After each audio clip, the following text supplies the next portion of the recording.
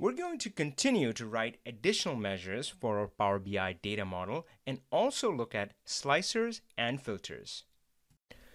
Keep watching.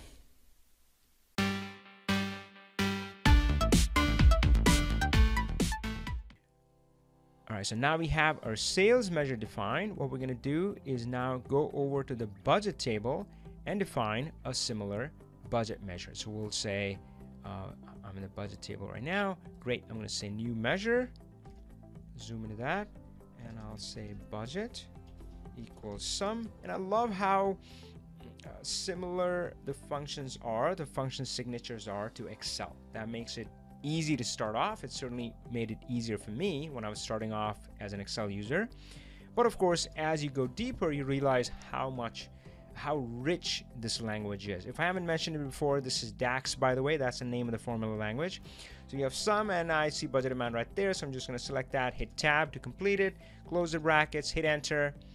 Uh, perfect. So that's done.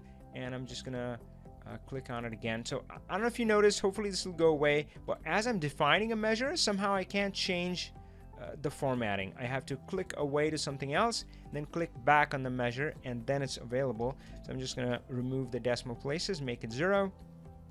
Great, right? So and and I can I can ignore this implicit measure. Don't really care about that anymore.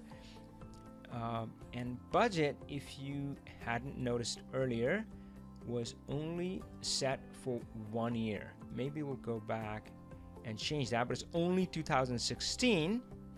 So if I add my budget in here, it's not really apples to apples. Sales is right now all years.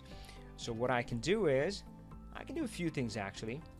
Let's talk about that. So I can go to calendar and I can bring in year as a slicer. So I can bring in year and then change it to a slicer. So if you notice here, if you hover over these elements, it gives you a little bit of description. Of course, you, you see the graphical um, uh, icon as well. So this one is a slicer and I can change that to a slicer and notice it lets me select and I know that this is uh, only 2016.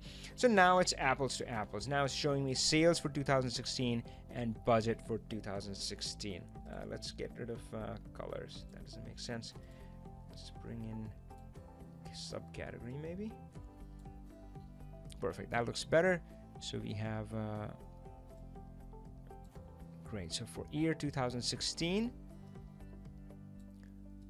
so we're going to talk a lot more about visualization, but for now, let me just say that, uh, so you can do this and I'll show you another method, which is if you click on the page, not on any element, click on the page, then it's easier to see these ones. You have page level filters and report level filters. Now for now, we only have, uh, come on, go away, one page here. But you can add additional pages and you, you can build out reports and we'll have lots and lots of fun building reports. Uh, so you can either have a filter which applies to just the page you're working on, or you can add a filter which say, no, no, no, any page that I have, one, two, three, four, or whatever you name them. One shows sales, other shows uh, something else, marketing efforts. The next one shows uh, uh, returns or customer support. Each tab can have its own data, but then you can say, I'm going to drag in a filter and it's going to apply to the complete report. Uh, for now, let's just do uh, one. So instead of making it a slicer, I can drop it to a page level filter and set it over there. So notice what happens here. Once I set it here, it's it's actually that's all that's available to the page. So even the slicer doesn't show anything else because it it's it's not available to the page. So when would I use one versus the other? When would I use a filter here versus a filter here?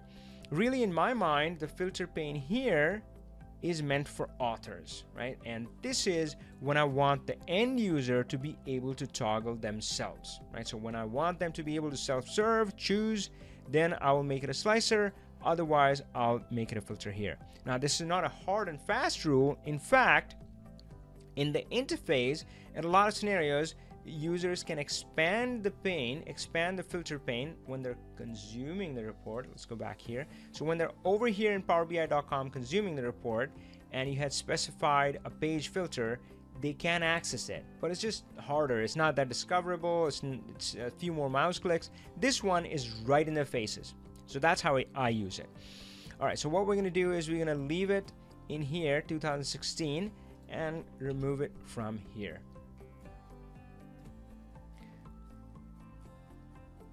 Hey, keep watching more videos and keep learning Power BI. But if you did enjoy this video, I would love to hear from you. So leave a comment, like, subscribe, all the good stuff.